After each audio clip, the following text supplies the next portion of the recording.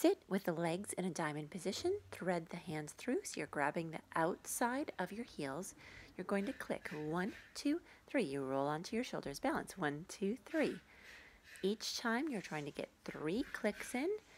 Uh, this is a nice challenge on your balance, your control, coordination, and you want to keep the rolling nice and smooth so you're not hitting any bumps along the way. On the final one, you bring your weight all the way forward and roll up through the spine without using your hands.